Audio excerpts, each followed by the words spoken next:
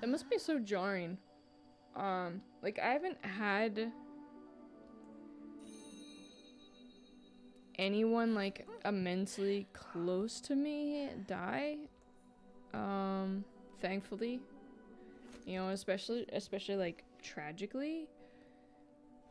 And like I can only imagine what that would feel like like if you're if you're having dreams at night and I mean obviously I know what having dreams at night and like feeling like they're real.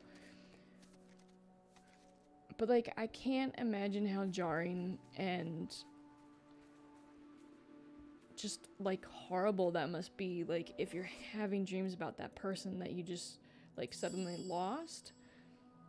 Like that much that must be like the weirdest like heartbreaking kind of dream, you know? And I'm sure I'm sure people have them.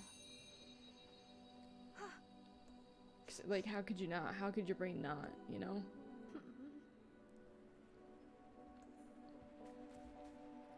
I know that conversation went, you know, downhill, but you know, this is kind of like an uplifting portion where it's like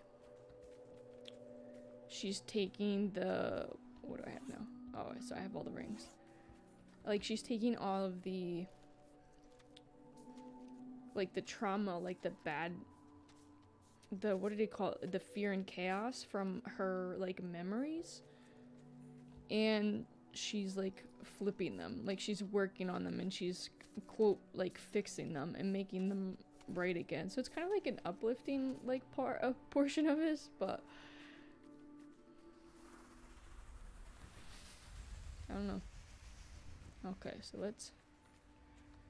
wonder if we have to put these in order.